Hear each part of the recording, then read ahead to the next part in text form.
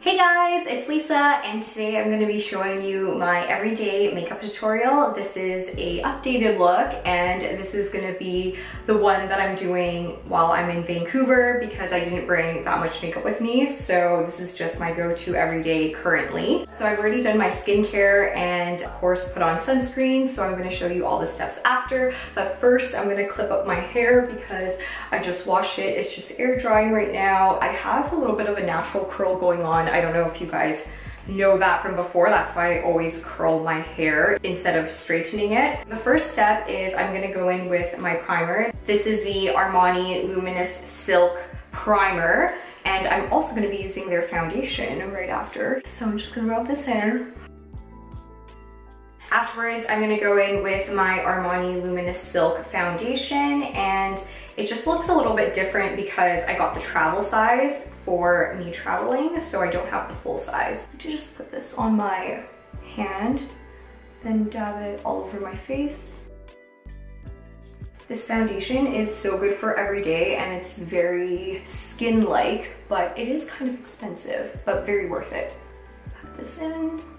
It's kind of hard. I'm using the camera as my mirror, so I'm sort of doing this blind.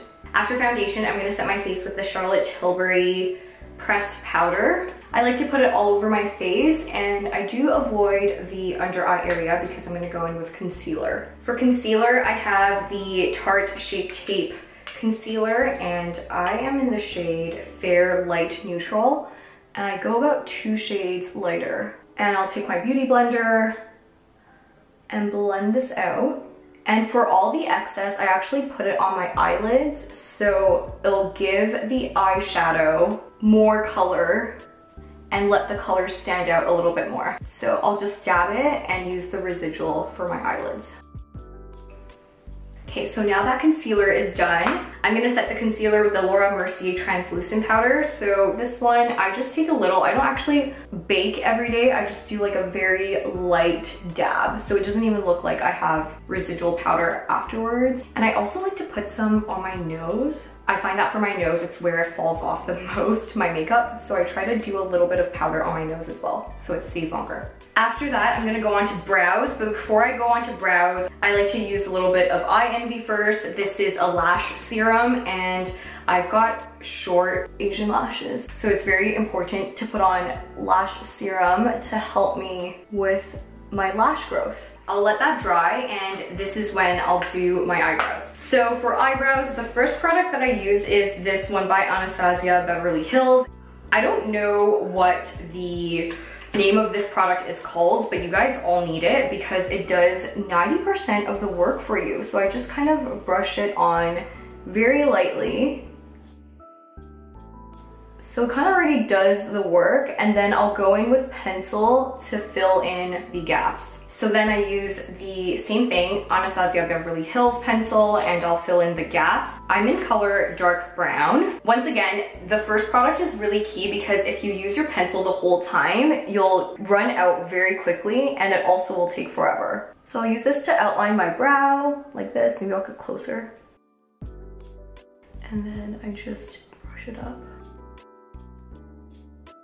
I just like to do that little line and then use the spoolie to brush it. Sometimes I'll conceal the top. I think I actually will today. So I'll take the same concealer and I'll just dab a little bit. It's better to use a brush, but I did not bring a concealer brush to Vancouver, so I'm just using a beauty blender and praying for the best.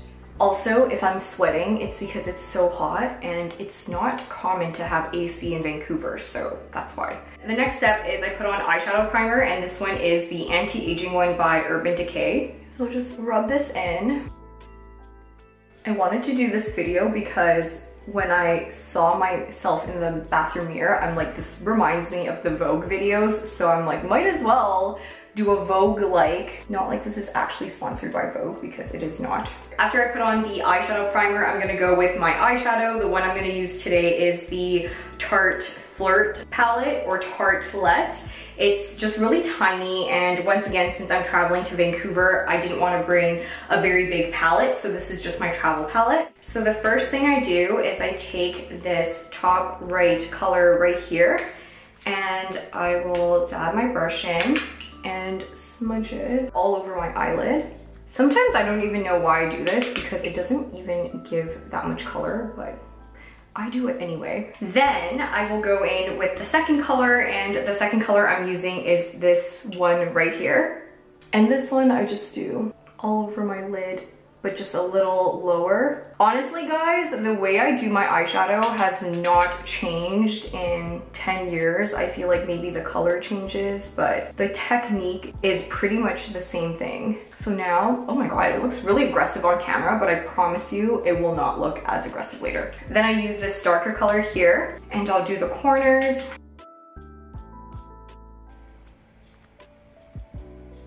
Okay, looks kind of bad right now, but I actually take another brush and I blend this all in together.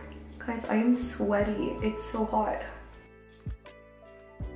And then last thing is I'll take this shimmery color here and I'll actually use my ring finger and I just smudge it in the beginning areas of the eye like this. I know it looks like a lot of eyeshadow, but when you have monolids, you have to put on more eyeshadow or else when you open your eyes, it just doesn't look like you did anything. So this is to compensate. And then the last step, I actually take a brush. It's very pointy as you guys can see. And I'll take the darker color again. So the darkest color that I have here. And I will just put it in this corner and I just dab it lightly. And I will also blend this, don't worry. And this is just to close off the eyes because obviously the top makeup is a little heavy. Oh my God, the makeup face is so funny. And then I'll blend it out. Now that that's done, I actually will go in with my face palette. So I have the one from Charlotte Tilbury. I use this all the time and I tell you guys that I use it all the time. I have two, so I have one back home and this one is a different color and a different palette-ish, but it's the same idea. And I have this for my travel. I'll take the face palette first because I actually use the highlighter and I put it in the corner of my eye just to brighten it. And also sometimes like just in the middle here.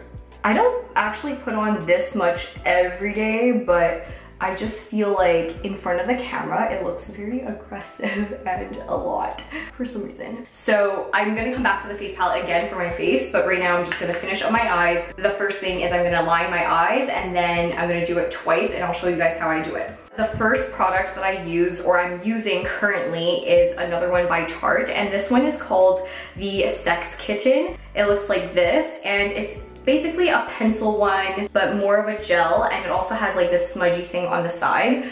So the reason why I have to do it twice is because once again, as a monolider, eyeliner doesn't stay on all that well. You can't just do a thin line or else nobody is gonna see. So you have to do a thicker line, and I actually like to pull it up from the bottom. This looks kind of creepy, and I hope I'm aiming it right. I'll even start the wing, but not really finish it I just need it for the darkness of the color. Because with pencil, it's so much easier to do this. At home, I use the Bobbi Brown Dip Gel.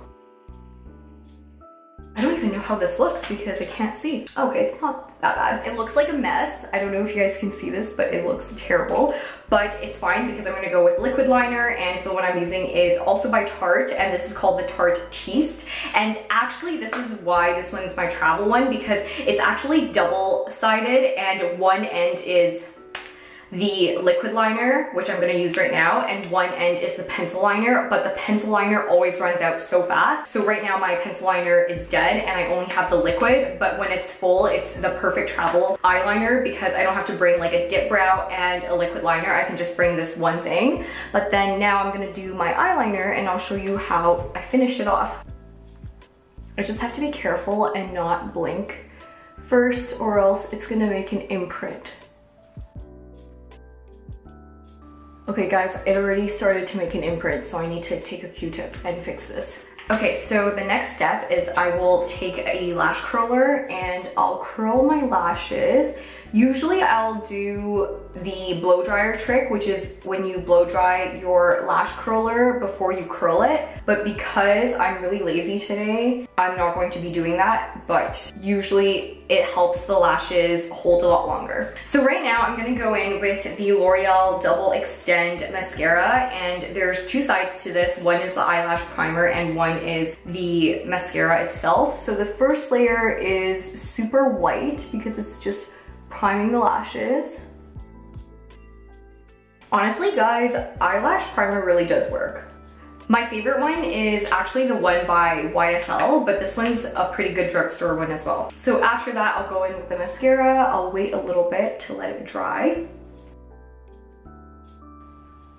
If I have extra time on my hands, what I do is I'll do my face makeup and then right after, once the mascara dries a little bit longer, then I'll go in with another coat.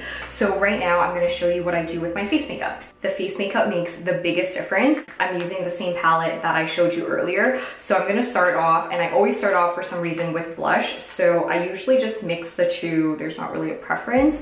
And then I just put this on the apple of my cheeks in circular motion. I really like this blush because the color is great and there's a little bit of a shimmer. So I know this went on really aggressively. Sometimes it'll do that. Okay, so what you guys do when it's like this is I just use the Beauty Blender to blend this out. So it's not as aggressive. The lighting has also changed so drastically in the last five seconds. So hopefully you guys can still see me. So this is now the blush. Then I'll take the bronzer. Once again, this lighting makes it look so bad, but I have to blend a lot more. Okay. Then for highlighter, I actually just use my fingers. So I'll just dab this in this area here like so. And then on the other side, plop it on like this. And then I really like to do this highlighter here, a little bit on top, and then a little bit on the cupid's bow. And I actually also like to take my fingers and dab it in the bronzer to contour my nose a little bit. With using your finger, it is a lot more natural. What makes it even more natural is actually if you take a concealer, or not like a concealer, but like something like a concealer brush to brush it out. Sorry, the lighting is really bad, so it's making my makeup look really bad, but I will switch this in a second. Hey guys, I turned on the light and see how like the makeup, it looks so different. Anyway, I'm gonna go back to showing you the blush. Okay, it looks way less aggressive now. Sorry about that lighting. That was so bad. So this is pretty much what we have. And once again, with the nose contour, we're just doing the concealer or whatever brush to help blend that. And this is pretty much the full face. I'm gonna go in with a mascara to top off another coat.